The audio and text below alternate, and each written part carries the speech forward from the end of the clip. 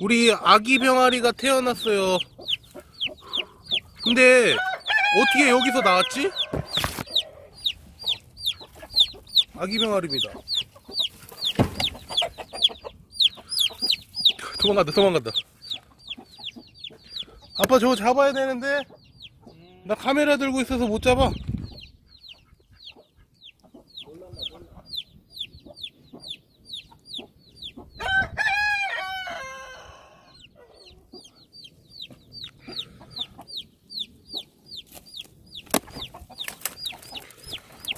이거 이리 와 이리 와. 알았어 알았어 알았어.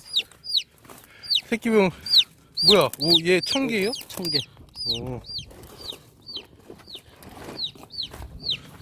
보여주세요, 보여주세요. 여러분들 천개 새끼예요, 천개 새끼. 색이 되게 신기하네. 오, 안 해쳐, 안 해쳐.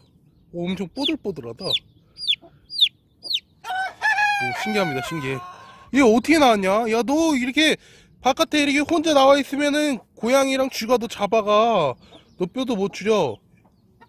자, 저기 병아리 또 있네. 예, 들어 보내주겠습니다. 나오지 마, 다음에. 알았지? 조심히 가. 엄마한테 가, 엄마한테. 잘 간다, 잘 간다. 엄마한테 잘 간다. 자, 지금 닭, 닭장을 기습 공격하러 왔는데요. 여기 꼬꼬들이 알 품고 있습니다. 알 품고 있어. 그리고, 자, 여기 알이 있어요, 알. 그런데 되게 신기한 알을 발견했습니다. 어떤 알이라면은 엄청 작은 알이에요. 엄청 작은 알. 이거 보세요.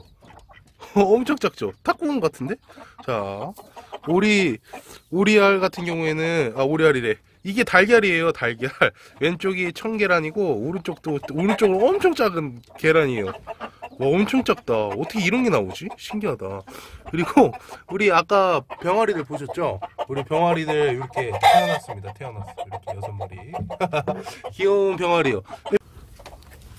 자, 우리 엄마 꼬꼬랑 새끼 병아리입니다. 여기 있네요, 저기. 숨어 있다, 숨어 있다. 조심해, 알았지? 너네 함부로 나오면 안 돼. 조심해.